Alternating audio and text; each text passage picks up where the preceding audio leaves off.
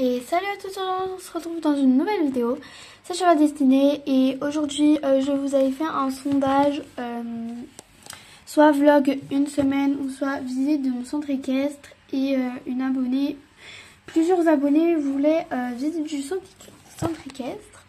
Du coup, c'est ce que je vais faire, donc c'est parti. Tout d'abord, nous avons la cuisine du centre équestre. Donc voilà.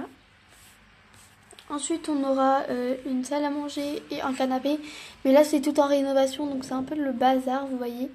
Là, il va y avoir une nouvelle chambre pour loger, une salle de bain toute cassée, une chambre. Mais vous voyez, il n'y a rien qui est prêt parce que c'est tout en réparation. Voilà. Donc, euh, on va passer au prochain bâtiment. Ici, pareil, c'est tout, tout, tout en rénovation. Il y a presque tout le ranch en réno. Donc, voilà.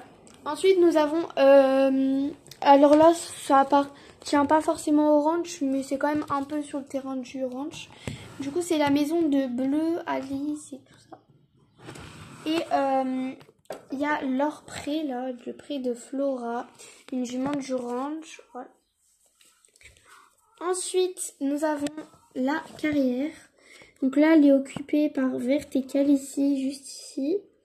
Et Bleu et Rosabella qui sont en train de faire une séance de saut d'obstacle. Coup, on va les laisser tranquilles. Euh, donc là, nous avons euh, toutes les curies. Voilà. Donc l'écurie aussi va être euh, réparée. Donc c'est pas très rempli.